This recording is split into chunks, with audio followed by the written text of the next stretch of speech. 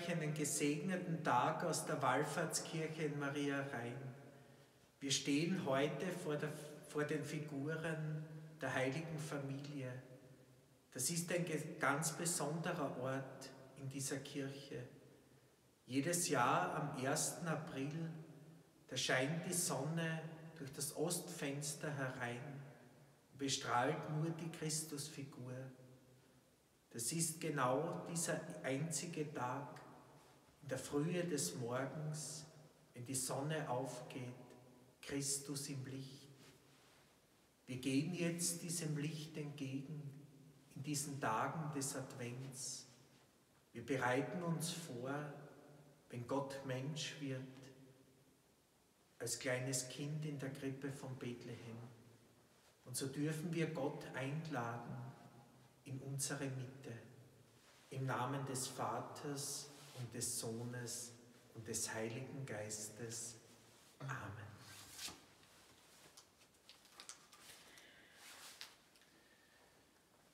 Du bist vertraut mit all meinen Wegen. Noch liegt mir das Wort nicht auf der Zunge. Du, Herr, kennst es bereits. Du umschließt mich von allen Seiten und legst deine Hand auf mich. Zu wunderbar ist für mich dieses Wissen, zu hoch, ich kann es nicht begreifen. Denn du hast mein Inneres geschaffen, mich gewoben im Schoß meiner Mutter. Ich danke dir, dass du mich so wunderbar gestaltet hast. Deine Augen sahen, wie ich entstand. In deinem Buch war schon alles verzeichnet. Sieh her, ob ich auf dem Weg bin, der dich kränkt und leite mich auf den altbewährten Weg. Ja, wir sind eingeschrieben in das Buch des Lebens, hineingeschrieben in die bergende Hand Gottes. Wir dürfen uns geborgen und getragen wissen von ihm, gerufen bei unserem Namen in diesen adventlichen Tagen, da dürfen wir den Weg von außen nach innen geben.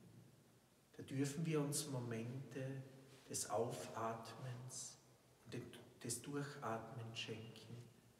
Und so dürfen wir einen Gedanken mit euch teilen, der gerade mich besonders bewegt in dieser adventlichen Zeit. Die Zukunft wird ein großes Licht bringen.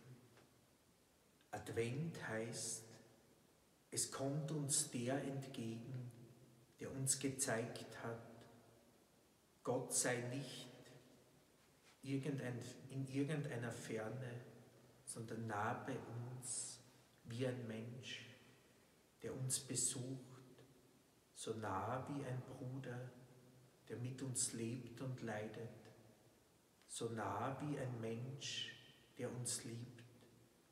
Der, der kommt, geht unseren Weg mit uns. Und sei der Weg noch so schwierig und sei es über diesem Weg noch so dunkel und sei er noch so weiß. Er zeigt uns ein Ziel, ein großes Ziel und ein schönes bis zum Punkt, an dem uns aufgeht.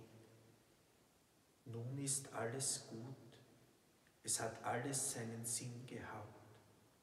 Und wenn um uns her alles beweist, es wird nur schlimmer, die Katastrophen, die auf uns zukommen, sind unausweichlich, dann sagen wir, nein, die Katastrophen sind nicht das Letzte. Wir haben eine Zukunft vor uns und die hängt zum Glück nicht von der Macherei von Menschen und ihrer Torheit ab. Die Zukunft wird ein großes Licht bringen und unser Weg im Licht enden. Die Zukunft ist eine Tür, die für uns alle offen steht.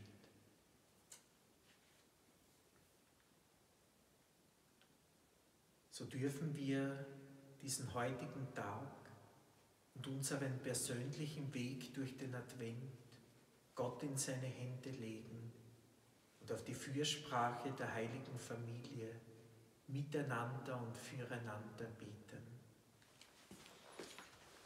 Vater unser im Himmel, geheiligt werde dein Name, dein Reich komme, dein Wille geschehe, wie im Himmel so auf Erden.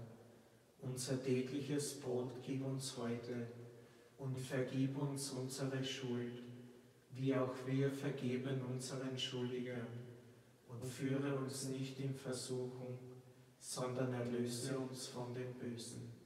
Denn dein ist das Reich und die Kraft und die Herrlichkeit in Ewigkeit. Amen.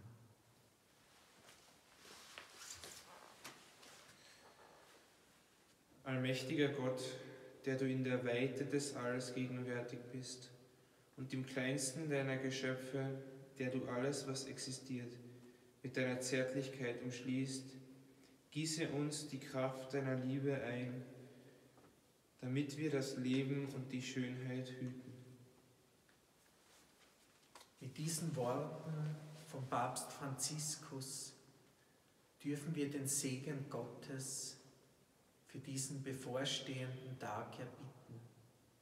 So segne, behüte, begleite und bestärke dich alle Menschen, mit denen du in Beziehung lebst und die dir nahestehen. Er, der Gott des Lichtes, der Vater, der Sohn und der Heilige Geist. Amen.